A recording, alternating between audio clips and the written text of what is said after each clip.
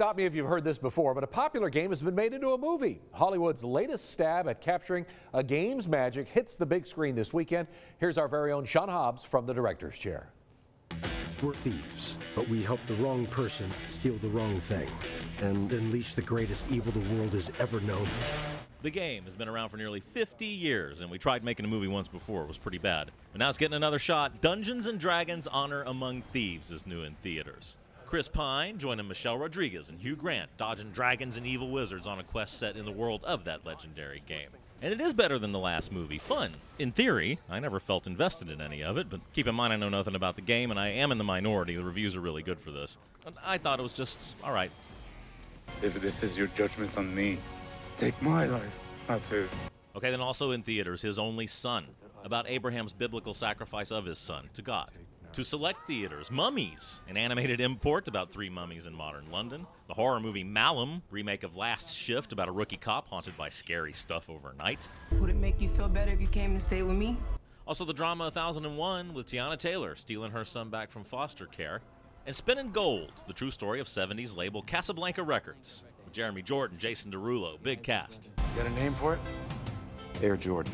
And you can catch Matt Damon and Ben Affleck's new one Air about the making of Air Jordans at sneak previews Saturday night. I'm coming for everything. You threatening me? All right, then we go home where Creed 3 is already on premium VOD while it's still in theaters. Ditto Champions with Woody Harrelson coaching a disabled basketball team. I see you. And yep, James Cameron's big blockbuster sequel, Avatar The Way of Water. Oh, look.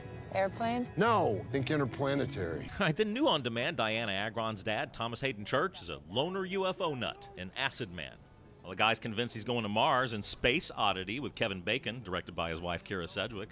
From France comes the satire Smoking Causes Coughing, about a team of tobacco superheroes.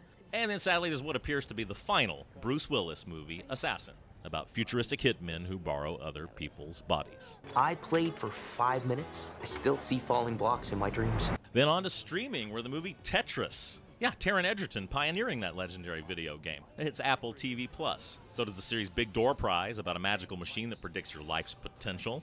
And Eva the Owlet, a new kids show based on those books. The Disney Plus has the teen movie Prom Pact about a girl who falls for a jock she tutors. This power is evolution. And women can suddenly zap electricity in The Power, a new show on Amazon Prime with Toni Collette. Then Hulu has the acclaimed Rye Lane about a budding romance in South London. Also, the new music docu-series Rap Caviar presents. Does that feel fake? Ow! While Kevin Hart's still trying to become an action star in Die Hart 2 Die Harter. That's on the Roku channel.